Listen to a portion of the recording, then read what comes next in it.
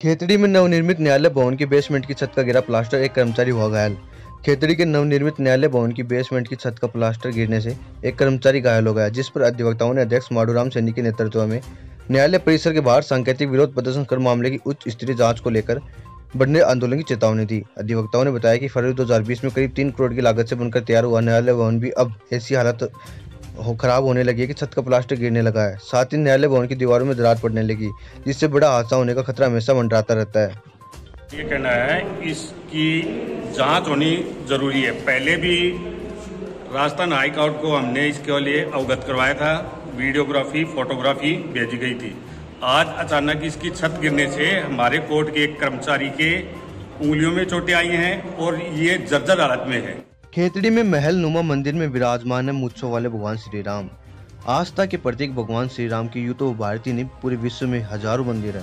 परंतु खेतड़ी के मध्य स्थित भगवान श्री राम का यह मंदिर अपनी अलग पहचान रखता है। मंदिर के साथ एक विशाल का महल है, जिसमें विराजमान भगवान श्री राम एक अलग ही खासियत है। इसमें भगवान श्री राम की मूछ है, जो कि इस मंदिर नुमा महल को सब मंदिरों से अलग स्थान प्रदान करती है।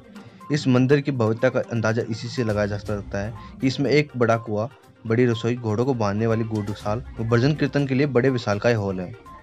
खेतड़ी राजवंश के पांचवा राजा बख्तावर सिंह जी, जिनके का शासनकाल 1826 से अठारह से रखा। उन्होंने अपनी धर्मपत्नी रानी चुंडावत जी के कहने पर इस मंदिर का निर्माण महल की तरह करवाया। रानी चुंडावत जी सलवन में राजा रावत, सरदार सिंह की बेटी थी और सती होने से पहले वह इसी महल हनुमान मंदिर में रही। इस मंदिर में एक गुप्त रास्ता खेतड़ी के ऐतिहासिक पन्ना सागर तालाब पर भी जाता है।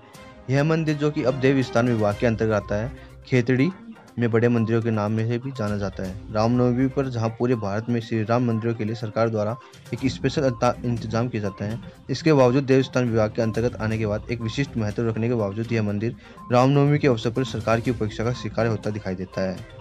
देवस्थान विभाग द्वारा रामनवमी पर यहाँ कोई स्पेशल कार्यक्रम नहीं किए जाते। खेतड़ी में पंचायत समिति की हुई साधारण सभा की बैठक। खेतड़ी के पंचायत समिति सभागार में आज साधारण सभा की बैठक का आयोजन किया गया, जिसमें सड़क, बिजली, पानी का मुख्य मुद्दा छाया रहा।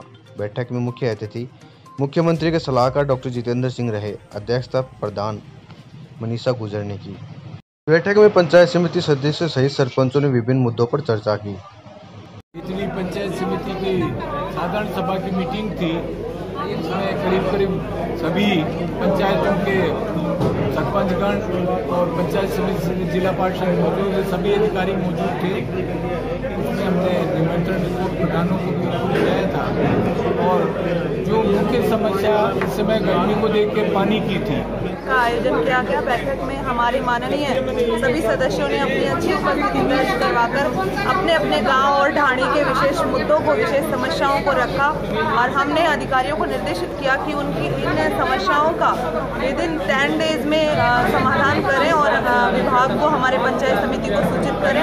इसके अलावा भी माइनिंग को लेकर भी सदस्य, माननीय सदस्यों के विभिन्न मुद्दे थे।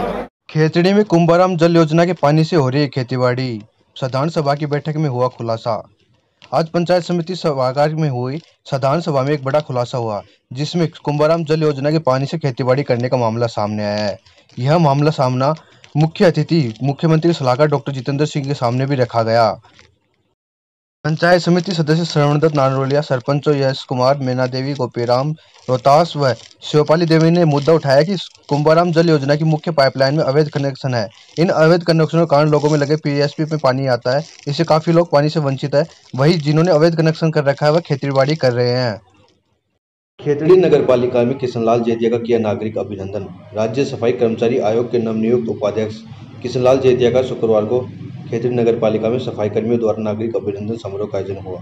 समारोह में मुख्यमंत्री सलाहकार डॉक्टर जितेंद्र सिंह मुख्य अतिथि तथा अध्यक्षता पालिका अध्यक्ष गीता देवी सैनी ने की। पार्षद लीलाधर से प्रेमलता गुड्डी देवी सहित अनेक लोग मौजूद रहे। इस मौके पर वाल्मीकि समाज के किशनलाल जेदिया, सावरमल जेदिया, अशोक उडानिया व दीपक जेदिया ने सफ़ाई व अतिथियों सहित राज्य सफ़ाई कर्मचारी के उपाध्यक्ष के किशनलाल जेदिया डॉक्टर जितेंद्र सिंह व अन्य अतिथियों को माला व साफा पहनाकर व स्वामी विवेकानंद का प्रतीक चिन्ह देकर अभिनंदन किया। नगर पालिका में माननीय श्रीमती गीता देवी जी की अध्यक्षता में और हमारे लोकप्रिय विधायक खेतड़ी के माननीय डॉक्टर जितेंद्र जी की मौजूदगी में और सैकड़ों कार्यकर्ताओं की उपस्थिति में जो मुझे, मेरा स्वागत हो रहा है, मुझे हमारे लोकप्रिय मुख्यमंत्री माननीय अशोक जी गहलोत साहब ने राज्य सफ़ाई कर्मचारी आयोग का उपाध्यक्ष बनाया।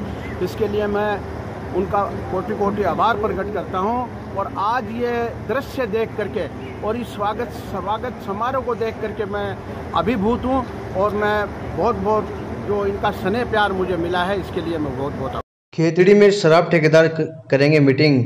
आबकारी विभाग ने प्राइस का 30 प्रतिशत किए कम। पिछले सात दिन से बंद शराब ठेकों खुलने के आसार बन गए। आबकारी विभाग ने 30 प्रतिशत प्राइस कम कर दिया, जिस पर खेतड़ी के शराब ठेकेदार बैठक करके निर्णय लेंगे कि किस प्रकार बोली लगाई जाए। जानकारी अनुसार ठेकेदार पिछले एक महीने से प्राइस कम करने के लिए आंदोलन कर रहे थे, लेकिन आबकारी विभाग प्राइस कम करने पर राज़ी नहीं हुआ, जिस पर खेतड़ी में एक भी शराब ठेका नहीं खुला। प्राइस कम होने के बाद अब ठेकेदार शराब ठेकों की भागीदारी निभाने को तैयार हो सकते हैं। खेतड़ी नगर के परीक्षा सेंटर पर दे चुका फर्जी परीक्षार्थी परीक्षा। खेतड़ी नगर के परीक्षा सेंटर पर दसवीं का बोर्ड परीक्षा का पेपर 5 अप्रैल को फर्जी परीक्षार्थी दे चुका है। जानकारी अनुसार विद्याश्रम स्कूल करमाड़ी के छात्र की जगह दूसरा, फर्जी परीक्षार्थी परीक्षा दे चुका है। दो दिन बाद खेतड़ी पुलिस की पकड़ में आई, उसने खुलासा किया। सोनराम की जगह सुनील कुमार ने पाँच अप्रैल को परीक्षा दी। वही स्कूल प्रधानाचार्य ब्रह्मानंद द्रोणाचार्य ने बताया कि तीन लेयर की जाँच पड़ताल होती है। पाँच अप्रैल को तीन प्रकार की फ्लाइंग ने भी जाँच की थी, लेकिन विद्याश्रम स्कूल करमाड़ी के छात्रों की फ़ोटो भी स्पष्ट नहीं रहती। लेकिन स्कूल की मोड़ लगी होने की वजह से हस्ताक्षर के मिलान के बाद परीक्षा देने की अनुमति दी गई थी। वकीलों का अनिश्चितकालीन धरना पाँचवें दिन भी जारी। अखिल भारतीय किसान महासभा के सदस्य भी वकीलों के समर्थन में बैठे धरने पर बुहाना एसडीएम द्वारा वकीलों के साथ दुर्व्यवहार के कारण वकीलों का धरना पाँचवें दिन भी जारी रहा। धरने पर बैठे वकीलों को अखिल भारतीय किसान महासभा ने भी समर्थन देकर धरने में शामिल हुए। बताया कि 30 मार्च को खेतरी के उप जिला एवं सेशन न्यायाधीश बुहाना कैंप कोर्ट खोलने के लिए निरीक्षण करने आए थे। बुहाना बार अध्यक्ष रामस्वरूप यादव ने एसडीएम को वकीलों द्वारा न्यायाधीश से मिलने की बात कहकर मामले को आगामी तारीख देने का आग्रह किया, जिस पर एसडीएम भड़क उठे थे। उससे नाराज़ वकीलों ने धरना प्रदर्शन शुरू कर दिया।